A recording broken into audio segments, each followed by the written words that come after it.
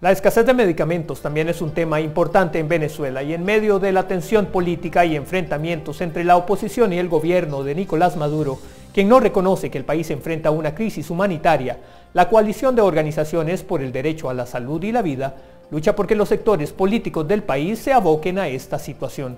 Por eso abrimos un espacio para conversar con el señor Francisco Valencia, presidente de esta organización, que lucha por la activación de un canal humanitario. ¿Qué tal, señor Valencia? Es un gusto tener la oportunidad de conversar con usted. Un gusto, Alejandro, por el contacto. Nosotros desde fuera vemos reportes de las condiciones en las que se encuentran los centros de salud y las dificultades de acceso a medicamentos. Usted se encuentra en Caracas, así que por favor denos un panorama general de la situación del sector salud.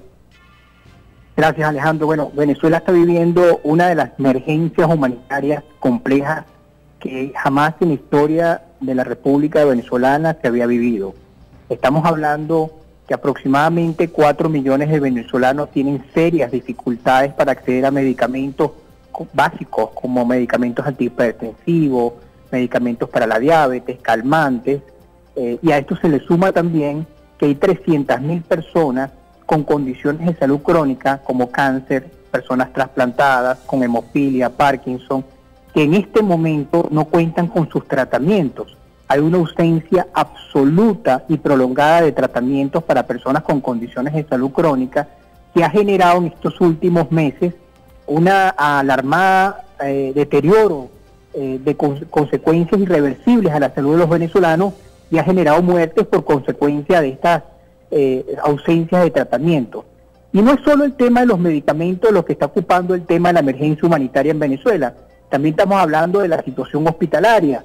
Se calcula que alrededor de 500.000 personas no han podido ir a una cirugía debido a las condiciones hospitalarias, la falta de insumos médicos, quirúrgicos, la deficiencia de, de unidades de terapia intensivas y la ausencia de equipos de diagnóstico en los centros hospitalarios.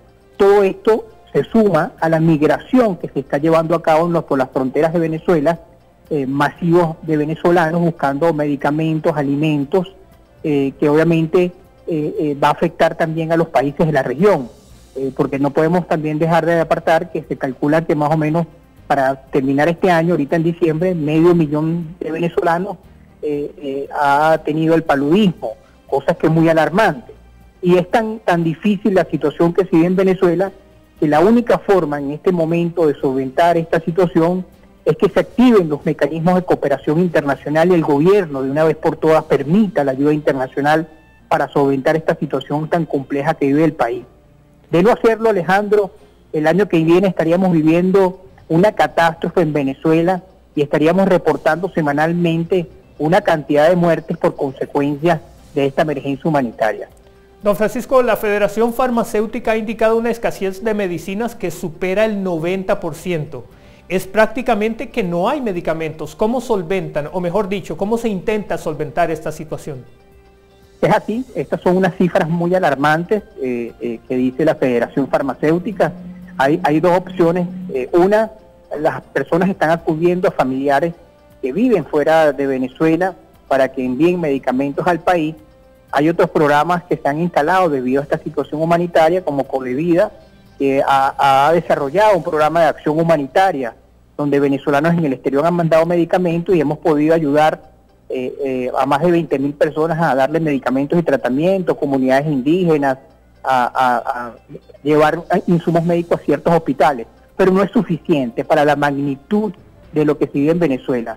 Eh, y es por eso que hemos pedido, nosotros participamos como ONG independiente en la mesa de diálogo que se está llevando a cabo en República Dominicana y, llevamos un planteamiento eh, muy responsable, muy serio, primero de la magnitud del problema y las posibles soluciones en, un, en, un, en, un, corto plazo, inmediato, y soluciones viables que están establecidas a través de los mecanismos de la Organización Mundial de la Salud, donde podíamos abastecer en dos semanas los hospitales y traer medicamentos al país para que la gente no siga sufriendo. Don Francisco, ustedes iniciaron la lucha por acceso a medicamentos desde el año 2003 y la coalición lleva años advirtiendo respecto a la escasez que afecta en gran medida a pacientes con enfermedades crónicas, como nos mencionó. Leí de la carta abierta al Instituto Venezolano de Seguros Sociales que emitieron el pasado mes de julio, en la que denunciaban que pacientes con enfermedades crónicas tenían hasta un año sin recibir medicamentos. ¿Hubo alguna respuesta? No, lamentablemente en ese entonces el presidente del Seguro Social, que por cierto hace dos semanas fue destituido de su cargo, él había anunciado inclusive en una rueda de prensa de que el Seguro Social tenía la capacidad de responder y que no había una emergencia humanitaria. Bueno, pasaron los meses y eh, tuvimos muertes, eh, muertes que se pudieron haber evitado eh, si, el, si el presidente del Seguro Social hubiera podido estos mecanismos internacionales. Es que se ha convertido, Alejandro, una política de Estado negar la situación de emergencia humanitaria que vive el país. Y cada vez que el gobierno sale o algún representante del Estado sale negando esta situación, lo que está dando es una señal a las familias, a los millones de venezolanos que están sufriendo, de que no les va a solventar su problema. Y esto obviamente no solamente te trae una situación compleja a tu salud, sino una, una situación psicológica que te genera porque no sabes si el día siguiente vas a tener tus tratamientos. Yo personalmente y mi esposa somos trasplantados renales y tenemos seis meses sin recibir el tratamiento adecuado para evitar el rechazo del órgano. Y así como nosotros estamos hablando de miles y miles de personas en Venezuela que están en una situación similar. ¿Quiere decir entonces que ustedes son parte de los beneficiados de estas acciones que se logran, ah, que, logran obtener los medicamentos al margen de cualquier ayuda del gobierno? Sí, nosotros somos afectados eh, por no recibir este tipo de medicamentos. Eh, eh, ojo, los medicamentos que están llegando a Venezuela por este programa de acción humanitaria son medicamentos esenciales Lastimosamente no están llegando medicamentos para el cáncer, trasplante, hemofilia, etcétera, porque son medicamentos considerados de alto costo y muy difícilmente eh, se pueden recolectar en el exterior para traerlos a Venezuela. Y, ha sido uno de los, de los más difíciles en, traer. Y, obviamente eh, eh, los venezolanos en el exterior hacen lo posible por ayudarnos, pero bueno, no es suficiente y, y es por eso que nosotros alertamos que si no se toma una medida urgente, en los próximos meses, en el mes de enero, aquí van a haber situaciones gravísimas eh, eh, con la salud de los venezolanos. Don Francisco, ¿cuánto tiempo podría vivir una persona trasplantada sin los medicamentos necesarios? Alejandro, una persona trasplantada depende de un medicamento de por vida. No puede dejar nunca de tomarlo, dos veces al día, cada 12 horas.